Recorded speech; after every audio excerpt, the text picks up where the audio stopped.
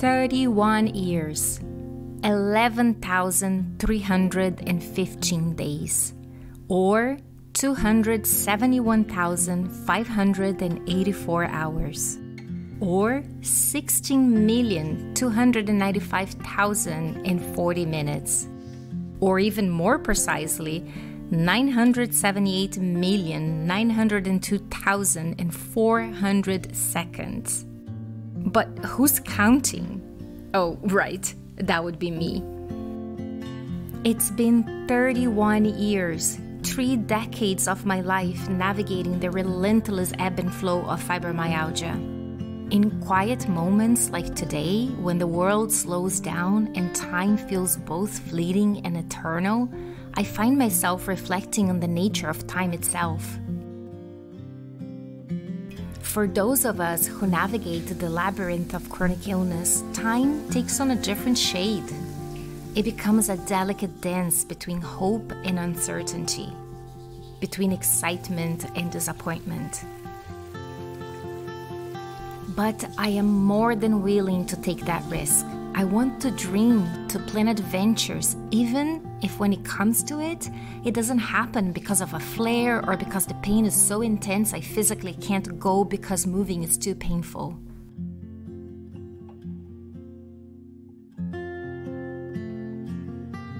I've grown intimately familiar with the unpredictability of flares, those sudden storms that disrupt my plans and ambitions. I felt the weight of disappointment as cherished moments slip through my fingers, cancelled by the unstable whims of my body. But within this dance of frustration and adaptation, I discovered the profound wisdom of accepting what I cannot change it's a hard fought lesson, one that teaches us resilience and the beauty of finding joy in the present moment, however fleeting it may be. Lately, as my health throws me more challenges and it becomes more difficult to manage my flares and symptoms, I become more aware that the time to chase my dreams is now. I don't know what tomorrow brings, and I may find myself in the future wishing I did things because today seemed so much easier compared to what the future may be. Yet, amid the uncertainty, there is a strange kind of liberation.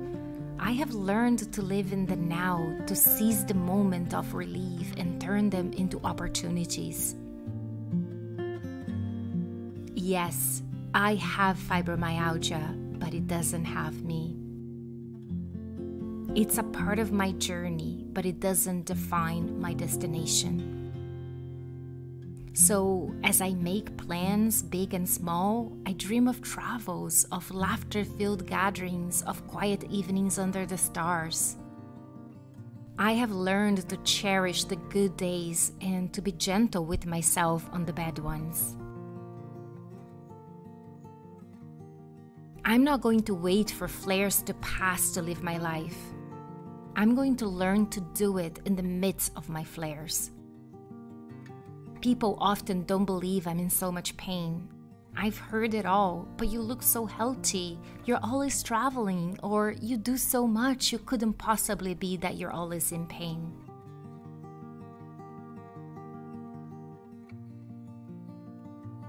If I'm laying my soul bare here, and I am, I would say I haven't had a completely pain free day since I was in my late teens. Now, this isn't to say it's all been darkness, far from it. Fibromyalgia, with its never ending unpredictability, has been my toughest teacher. It has also sculpted resilience into my bones and compassion into my heart. There are some who whisper that I have changed. To them, I respond, Wouldn't you? Of course, something this defining would change me. What would be the purpose of it then? Change is not bad. It's part of existence, of being human. It's about recognizing and honoring our experiences. I heard once that's not how life's supposed to be. But what if there's no supposed to be? What if there's just life and it's all messiness and unpredictability?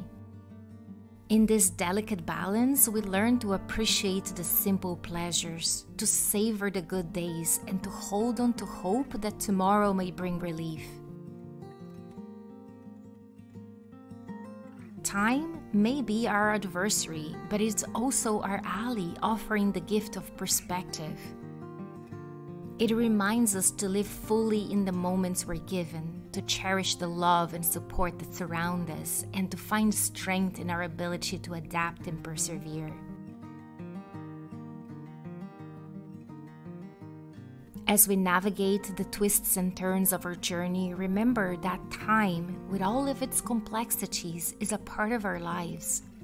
It may not always be kind, but it's a reminder of our resilience and our capacity for growth.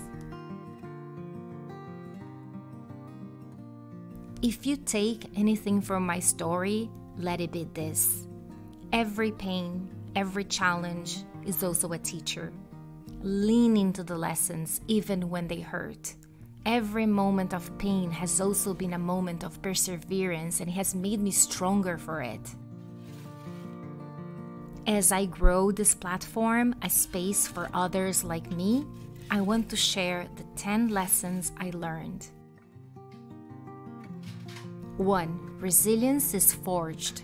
Every morning I wake up, regardless of the pain, is a testament to the human spirit's unbeatable will.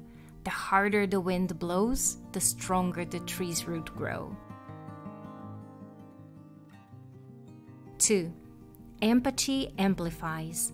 Living with fibromyalgia made me attuned to the silent struggles of others. Pain, visible or not, is a universal experience, and understanding it deepens our connections to one another.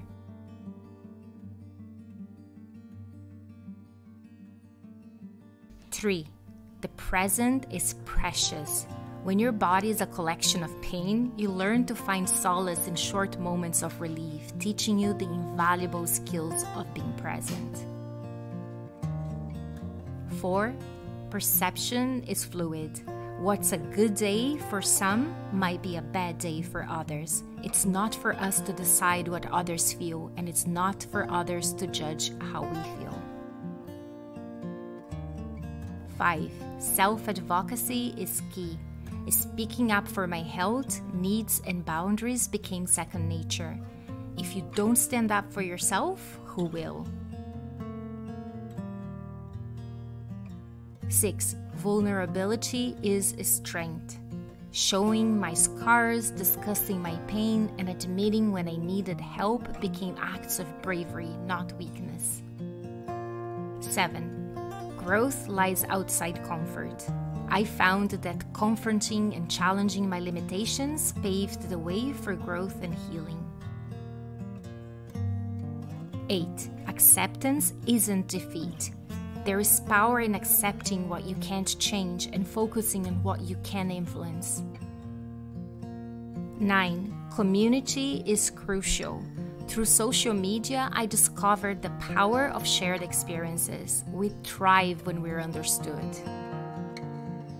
10. Joy exists in the smallest corners. A pain free hour, a sunny day, a call from a loved one, they hold profound joy when pain is constant. For those who have been shackled by expectations and limitations, whether physical or otherwise, I offer this. Don't let anyone define your pain, your journey, or your potential. Break the mold cherish your scars, and always, always keep moving forward, no matter the pace. If you find value in this kind of videos, like and leave a comment. And if you know someone who may benefit from hearing this, share this video with them. Thank you for watching, and I will see you in the next one.